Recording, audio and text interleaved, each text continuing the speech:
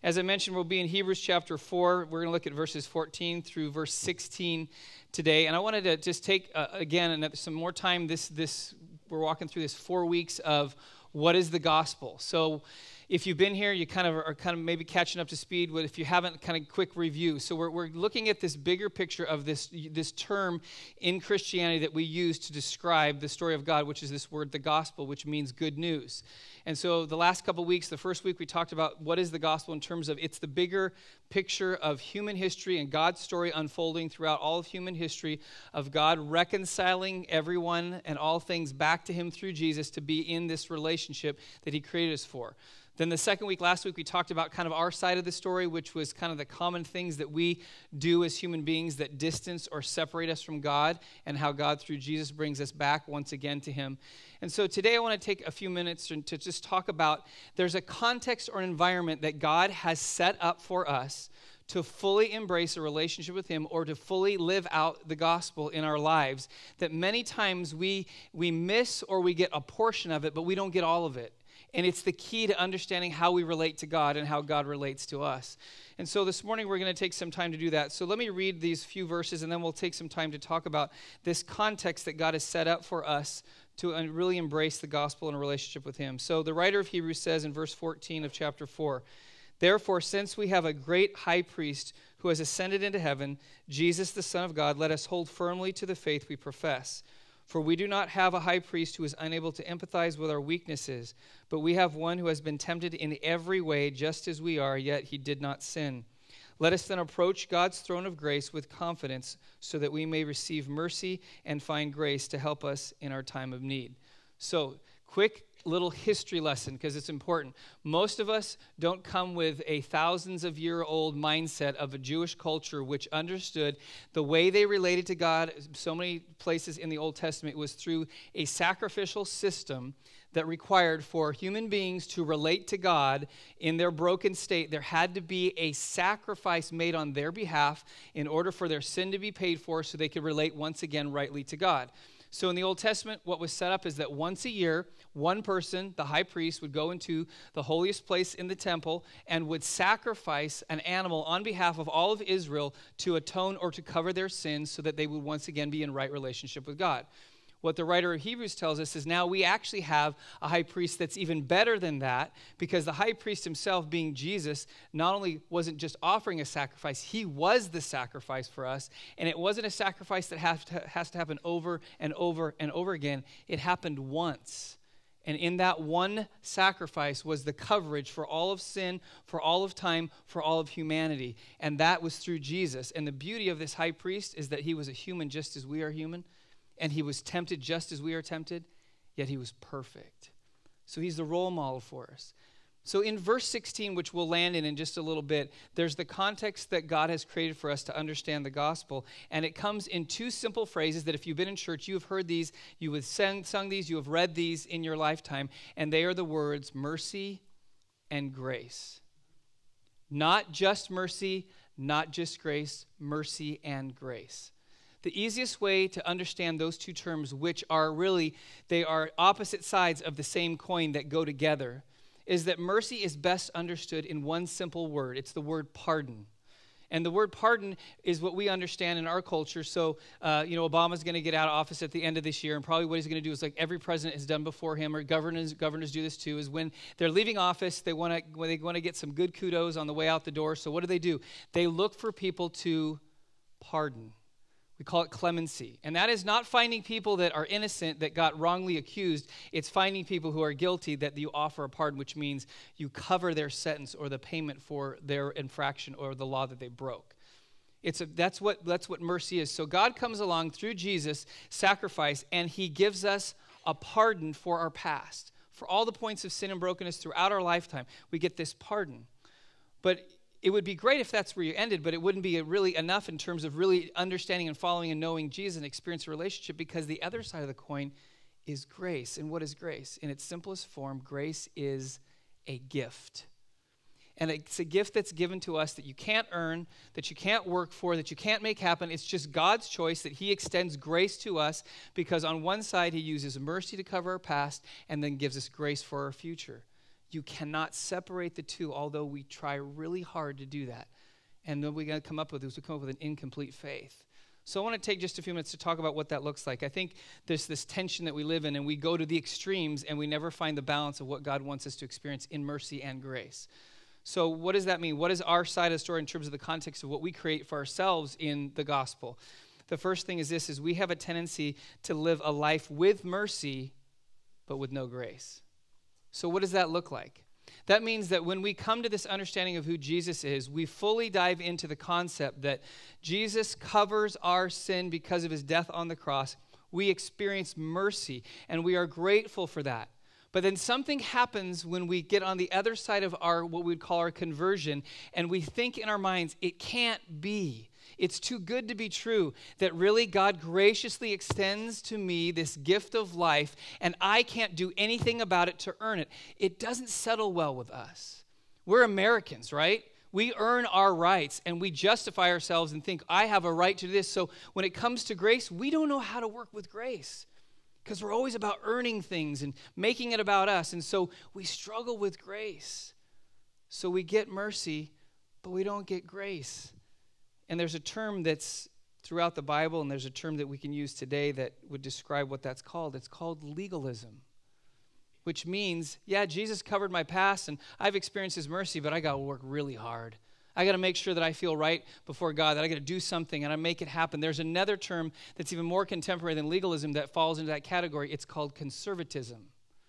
Now, some people are already offended because you're a right wing Republican. This has nothing to do with politics, this has to do with the practice of our life and that is that we make this concept that yeah i know i, I am i am under god's mercy but man i got to make sure that i do things just right. And if i don't god's going to squash me or he's going to send me to hell if i don't do things just right. So we work really hard.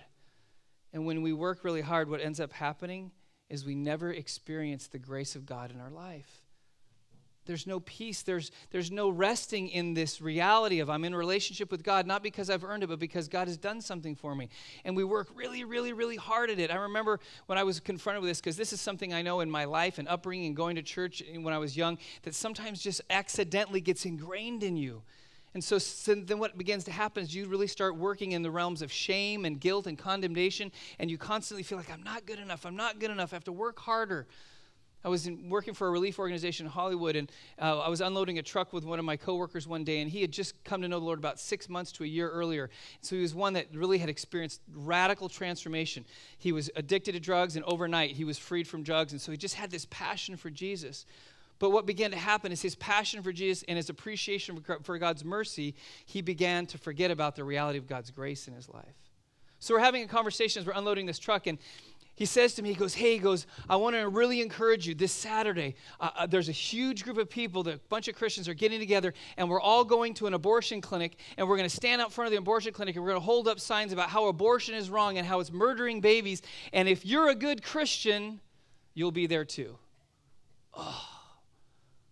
When I heard that, I was like, and he starts telling me, he said, Well, are you going to come? I'm like, Well, I, I, I don't know. Uh, well, he, and he kept leaning into me, saying, If you're not there, you're not there, then you're not a good Christian. You, do you even really know Jesus? As if knowing Jesus has to do with a, protesting abortion. Now, I know I'm already stepping on. Yes, I am pro life. Don't worry about that, okay? But the sum total of our faith is not defined by our activity that we think will please God. And I remember I went home from that and I felt horrible all for three days straight, I was questioning my faith. Because there's something in me that I didn't want to go and do that. And I thought, if I don't want to go and do that, does that mean that I don't value the unborn? No. Does that mean that I'm not following Jesus? No. And I had to come to this place to realize, no, Jesus loves me just the same, whether I show up or if I don't show up. Because my standing with Him is not based on my Christian activity, it's based on Him. But so many times we go to the extreme and we forget about grace, which is a gift, it can't be earned. And we live in this, this legalistic context. And what happens with legalism is it always leads to isolation because we become the judge of all people. And what happens when we become the judge of all people, we think when someone messes up, we push them away. We isolate them. We don't talk to them. We don't deal with them. Why? Because they're wrong or they're sinful, which is the opposite of the gospel. And what do we end up doing? We create this faith that is not the faith that God wants us to have. It's the faith that burdens people down with activities to justify themselves. It's exactly what's happening 2,000 years ago when Jesus came on the scene. The religious leaders had set up their faith, which was they took the law and they twisted it to make it something that was a burden on people to make themselves have to justify themselves before God. And this is what Jesus said in Luke chapter 11, verse 46 to these people. He says, You experts in the law, woe to you, because you load people down with burdens they can hardly carry, and you yourselves will not lift one finger to help them. Okay, honesty time. Anybody ever felt that faith is a burden? Anybody felt like you never add up? Okay, if you're a Christian, you're not raising your hand, we'll talk about lying because you know you're lying because we all felt that at one time or another, haven't we? We feel that burden. Where does that come from? It comes from a lack of understanding of grace. We got the mercy part, but we forgot the other side of the coin, which is grace, which is the next thing the next thing is the, in the context of our story. So we have this understanding of mercy, we forget grace, but then we also go the other way, and that we have a life with grace with no mercy. What does that look like? Well, that looks like I don't really have to worry about my past because it's really it's bad, but it's not as bad as other people. But man, I think God's got some great stuff going, and I would love to have all of the benefits of what grace looks like. But I don't need to worry about my past. I don't have to be accountable for that. I don't even really need mercy. I just want all the good stuff that Christianity offers and all the things that God wants to give me.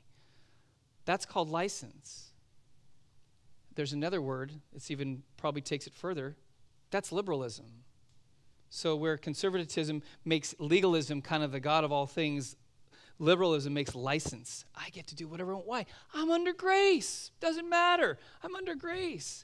Someone who lives that way has forgotten they misunderstand mercy. What it took to get them to the context of grace of Jesus' payment on the cross is somehow marginalized and they've forgotten what they because when you experience mercy you know what it does? It brings humility into your life to appreciate every gift that you get because you realize where you've come from. But when we get to those two extremes both of those end up in the wrong place. See what happens is i was uh, different from times to time. I was i'll listen to resources on counseling and things like that and so i was listening to a, a actually a christian psychiatrist talk about a counseling appointment she had with a young lady and she was talking about how this young lady was describing the context that she lived in, and she was really struggling in a relationship that she was in. And so she said, Well, tell me about the relationship. She said, Well, she said, Me and my boyfriend have been together for a long time. And she said, I really want to get married, but he's kind of dr- pulled back on it. But I really want to be with him. So we moved in together, and we've been living together for about a year or so, and it's just not going very well. So she's explained some more. So she's explaining, well, we're, we're kind of functioning like a married couple, but we're really not married because, but, but he doesn't really want to get married, but it's almost as good as marriage. She goes, but there's just something not right. He just doesn't seem to be as committed as I want him to be. And so she's listening to this, and she finally just stops her and says, you know, the problem is, is that you have given him everything and required nothing of him. You have given him given all of yourself to him with absolutely no commitment on his part. He has no reason to get married to you because you've given him everything that he thinks marriage is about, which primarily for a guy is sex. And if you're giving him that with no commitment, he's just going to keep living that way. What was happening is she was, in a sense, getting abused by him. She wanted a commitment, and he only wanted to use her for what he could get from her. Now, this is pretty strong, but when we forget about the reality of mercy in our life and only embrace grace, that's the same thing that we do to God. We just want what we can get from Him, but we don't want to make any commitment to Him because we just want what we want from Him. Now, when we live in that, we, we forget that we don't just keep accessing God's grace because we sin more and we think, oh, just keep bringing it on, God. I'm just going to live my life the way I want to. Paul gives a pretty strong warning in Romans 6 1 and 2. He says, What shall we say then? Shall we go on sinning so that grace may increase? By no means. We are those who have died to sin. How can we live in it any longer? How can we keep living that way? If we really understand God's mercy, if we're really living in His grace, something happens in us that it's not that we have to stop sinning to earn God's favor. We want to stop sinning because we realize what He's done for us. Completely different motivation. See, we, we become appreciative of God's grace, the gift that He gives to us, when we realize the fullness of His mercy. When I was about 10 years old, my, my cousin and I thought it would be a great idea. Don't ever do this. Great idea to play golf in his backyard with real golf clubs and real golf balls. In a backyard that was probably like uh, at its like longest or in its width was maybe 40 feet wide. It was a pretty small backyard. But one day, you know, when, when you're bored and you have nothing to do, you find things to do and to get in trouble, right? maybe maybe you're not like me. So we went out in the backyard, and so he was the first one up, and we threw the ball out of the grass. I said, "All right, just kind of take a whack at it." And so he swings as hard as he could. He nails the ball, and it goes right across the, the backyard, and it hits the fence about that far down, just about a foot down, and just loud sound like that was a great shot. So he goes, "Okay, your turn." So I throw the golf ball in, and I just I think I closed my eyes. It just swung as hard as I could. And I caught the ball clean. I mean, right off the grass and it was soaring towards the fence, but my ball was a little bit higher than my cousin's ball, and it went, it cleared the fence by about a foot. And a split second after it cleared the fence, I heard the, the loudest crash I'd ever heard in my life. And then about a two second delay, and then loud yelling and screaming from the other side of the fence. So my cousin and I looked at each other, we dropped the golf clubs, and we ran into the house. I mean, it's what you do when you're 10, right? So we ran into the house, we're hiding, and we could hear the neighbor coming. So we came outside the front, and he's coming out from his house, and he's screaming at us. He's got the golf ball in his hand, and he's almost charging us. And I'm, you know, I'm 10, I think my cousin was eight or nine, and we're standing there, and he's coming at us. And when you're that small and you're looking at a grown man, you are scared to death. I thought I was going to die. And so as he's coming at me, all of a sudden, almost out of nowhere, my grandpa steps right in front of us. And the guy kind of stops and takes a step back and he goes, Hey, what's going on here? And so he begins to explain with great detail and a few choice four letter words to describe exactly what happened and that the golf ball came over. So, what we didn't know is his backyard wasn't full of grass. He had built a shop off the back of his garage. He was in his shop working when the golf ball came right through the window. It scared him to death. So he was furious and he was angry and he was coming after us. And so my grandpa comes in and just says, Listen, calm down. Calm down. And this is what my grandpa said. He said, Listen, I'll go over and I'm going to clean up all the broken glass. He said, I'm going to go to the hardware store. I'm going to get the right piece of glass for you. I'm going to replace it, and it'll be like it never happened. And the guy kind of took a step back and took a deep breath. He said, Okay. And he walked away. I'm like, Whew. I was close. And he did. That afternoon took my grandpa a couple hours. He went and cleaned up all the glass, went to the hardware store, got a window, mounted it back in. It was like it never, ever happened. I so appreciated the fact of what my grandpa did because, in my mind, honestly, as a 10 year old, he saved my life because I thought my life was over. See, when you have that kind of appreciation for God's mercy, then you truly understand His grace. You can't fully embrace His grace unless you know what you've been saved from. That you know that your life is being sustained because of God's mercy through Jesus. Then grace is so much sweeter because you realize what could have been but isn't because of God's grace through Jesus and his mercy that he gave to us by his death on the cross. So, what's the answer to legalism? It's not more license. What's the answer to license? It's not more legalism, because that's what we end up doing. What do we do? We go to the polar extremes and say, ah, I just need to push harder. I need to do more this way or more this way. And it doesn't work. What, what is the answer? It's mercy and grace together. That's the context. That's how God created us to be in relationship with Him. What does that look like? So let's go back to verse 16. What is the context of our story in relating to God in this thing called the gospel? Mercy and grace married together in the way that we're supposed to relate to God. The first thing is this it is confidence. A life with mercy and grace looks like confidence. It doesn't look like arrogance, it looks like confidence. The writer of Hebrews says, Let us then approach God's throne of grace with confidence. What does that mean? That means when I understand the fullness of Jesus' mercy for me and his death on the cross and the grace extended me in the gift of life that he gives me, that means when I come into relationship with God, I walk through the doors with a sense of confidence, not in what I have done for myself, but knowing fully what Jesus has done for me. I don't have to crawl in on my hands and knees and beg for mercy every day because God, through Jesus, has covered my sin and given me life. Therefore, I have a normal relationship with Him.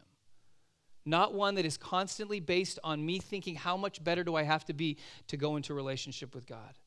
But I get to walk into His presence with a sense of confidence because of something I did or because I'm special? No, because God did something for me that made it possible for me to live in that context because of the identity I have in Jesus, now I get to walk into the throne room of heaven with great confidence because God's wrath has been satisfied and poured out on Jesus, not on me. Therefore, there is nothing against me that God has because Jesus is taking care of it.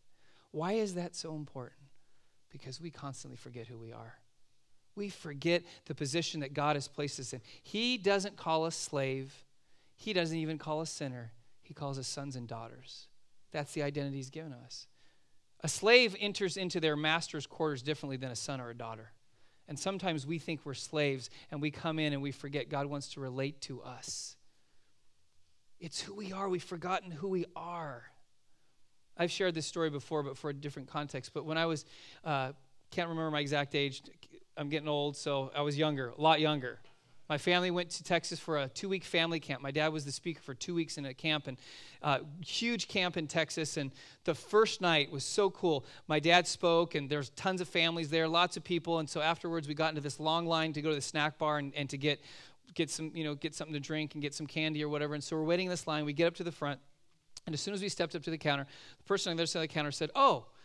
just so you know, since you're the speaker for the next two weeks, your family and your kids gets anything they want for free.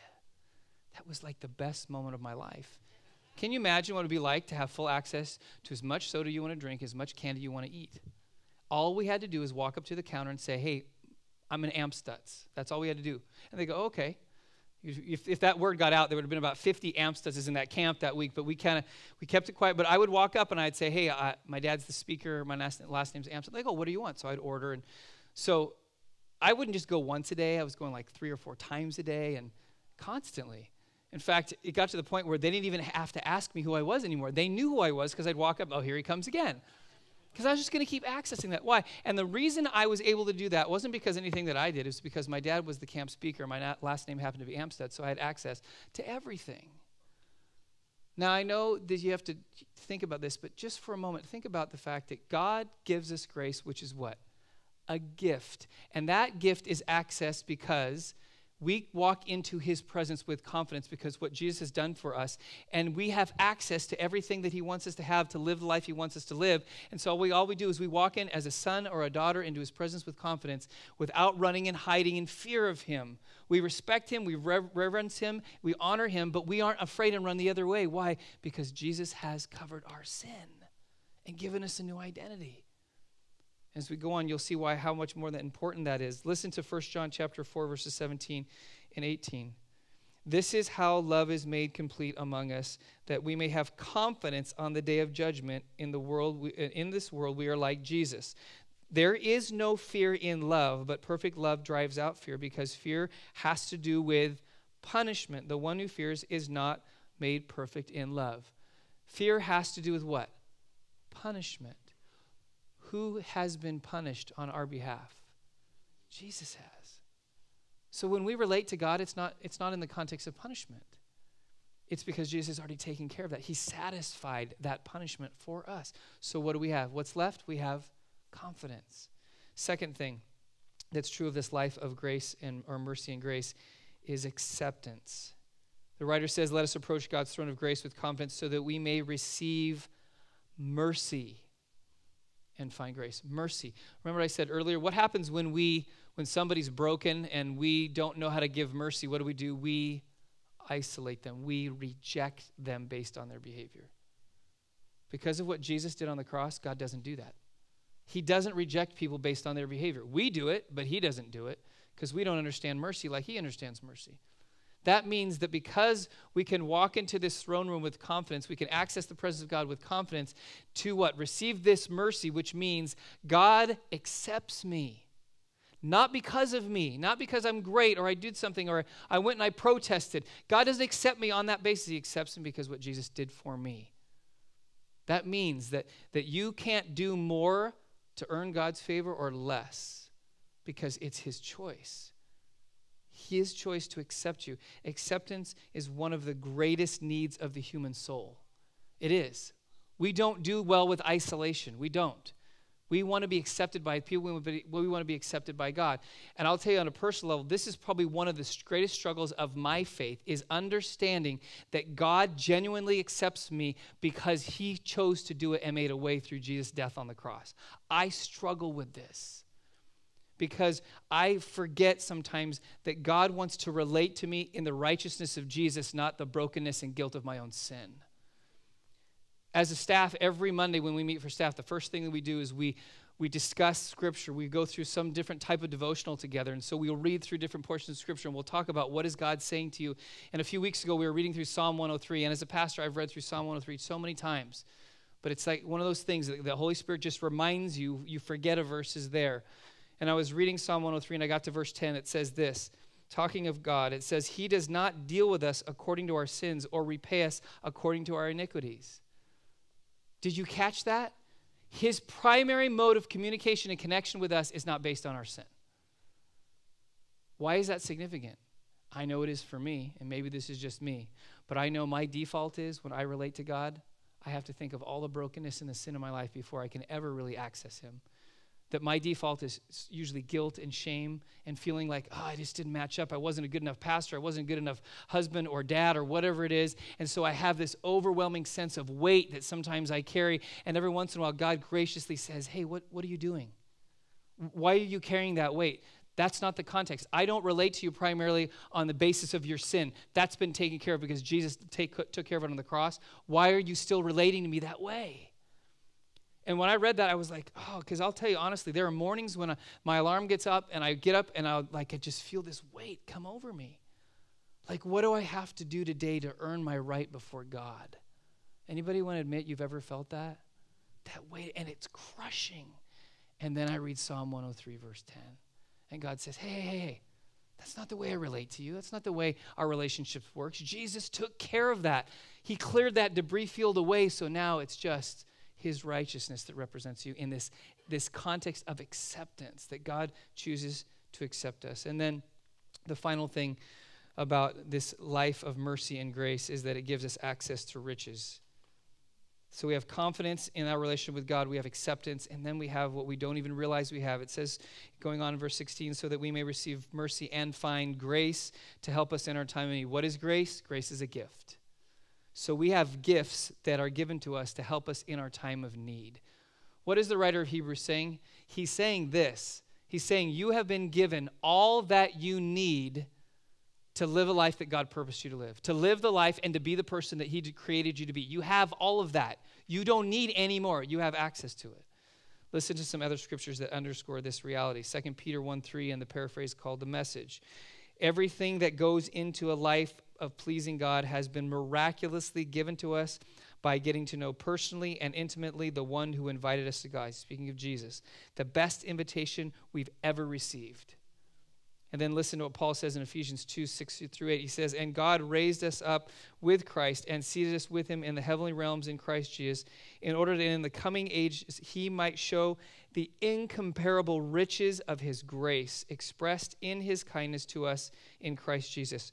For it is by grace you have been saved through faith, and this is not from yourselves, it is the gift of God. You and I are rich and don't even know it. We are. We, we have everything we need. Have we ever found ourselves crying out, to, crying out to God for things that we don't even realize we already have? We forgot to go to the cupboard of His grace and access what He's already given us. He has. Those passages are telling us that in Jesus, his death and his resurrection, and the deposit of his Holy Spirit in our lives, we have everything. You have every bit of patience that you're ever going to need in your life if you'll access it. You have every bit of wisdom that you're ever going to have in your life if you'll access it. You'll have every bit of compassion and love and mercy for other people if you'll access it. We have that. But we forget that we do. Would it be slightly frustrating if the day before you died you found out that some relative passed away 30 or 40 or 50 years ago and left you $100 million, and the day before you die you finally found that out? That would not be a good day. Well, dying would be even worse, but that would be pretty bad, wouldn't it? Knowing, not just now realizing as you look back over your life, I had $100 million. What could I have done with $100 million? I think there might be just a twinge of that when we come face to face with Jesus and he says, Man, why did you struggle so many in the areas when the cupboard was full for you? If you would have just opened the door and accessed it. Because I've given you through my grace everything you need if you'll access it. If you'll just access it. So we're going to head to communion in just a, a few moments. In fact, worship team, you can kind of make your way up here and get in position for that. But I wanted just to share as we prepare for communion something I think that really does capture this combination, this connection, this partnership between mercy and grace in our lives. And it comes through what we're about to experience in, in a few moments when you'll have a chance to go to one of the stations to receive the bread and the cup. Those are symbols of Jesus' body broken for us and then his blood shed, his death for us that covers us by his mercy and then extends God's grace of gift, gifts to us. So, if you've ever seen any form or read any form of Les Miserables, you will understand the context. It's been in play form, multiple movies, and in print the story really follows a theme of understanding mercy and grace in tandem with each other. So, in one of the early scenes of the film or the play, as Jean Valjean is released from prison, one of the, he's the main character. He finds his way into a priest's home, and the night that the first night that he stays there, he decides to steal some silver from the priest, and then he leaves. The next day, he's captured by the police. He's arrested. He's brought back to the priest's home, and they have him and the sack with all of the stolen goods in it. And they bring him into the priest and they say, Hey, we caught this guy and he had this bag of silver and he had the audacity to say that he didn't steal it from you, but that you actually gave it to him. And in that part, if you, whatever version you've seen, there's this pause, and the priest is looking at Jean Valjean in handcuffs and the bag of his guilt in front of him, and the police who've arrested him. And he looks at the police and he says, Of course I gave it to him. he said, The only thing that disappointed me was that he forgot to take the candlesticks too. And he walks over to the table and takes these two beautiful silver candlesticks and he opens the bag that already has all his other silver and he puts it in and he said, Why did you leave without these? And in that moment, the police unlock the shackles on Jean Valjean and he's standing now. It's just him and the priest, just the two of them. And the priest, in so many words, says back to, to Jean Valjean, he says, Listen, he said, I have purchased your life. I have bought your soul with this silver. And he said, And now I give you back to God. That is such a powerful statement because it's the same statement that Jesus made on the cross. When he died for our sin and our brokenness and extended mercy to us, then he says to us, I now give you back to God. I reconcile you back to God so that now, because you've experienced my mercy, now you can live in the grace of God in a relationship where you have access to everything that you need. You not only get the silver that you tried to steal, you get the candlesticks too. You get everything that you need. And in a moment, as you, you have a chance to receive communion, I'm going to encourage you. There are places and moments and things in your life that you know you need to allow God's mercy to cover. There's things that you're carrying with you right now that they still have a hold on you because you have yet to fully embrace the mercy of God through Jesus' death. That thing that holds you, that thing that heaps guilt and shame upon you, is the very thing God wants to break in your life but you have to access it. And then the other side of the coin, there's some of you here today, you're like me. And I know when I come to communion, one of the reminders God gives to me is you are saved by grace. I have unconditionally loved you and accepted you because of what Jesus did for you. So walk in that freedom. Lift the weight off of your performance or your behavior having to be good enough and just enjoy the relationship that I've created you to have. Let's close our eyes. Lord Jesus, in these next moments as we come to these stations. And in fact, you will be well, uh, you will be uh, able to access those as the worship team goes back in. Just go to the table as you liked and just spend time allowing God to speak to you. And so, Lord Jesus, as we do this today, I pray that you would, for maybe some of us, we've never come to know you. Maybe we've never understood fully what mercy and grace looks like. For today, for the first time, it's become clear. And we desire to make the commitment because of your mercy to experience the fullness of your grace. But for each of us, Lord, if it's mercy, if it's grace, if it's those married together, Lord, would you allow us to open up the cupboard of your resource and access all that we need right now in this moment to be fully who you created us to be, to be in right relationship with you, to experience the freedom and the weight being lifted off of us, and be in the fullness of your mercy and grace with confidence, acceptance, and the riches that you give to us. We thank you, Jesus, in your name. Amen.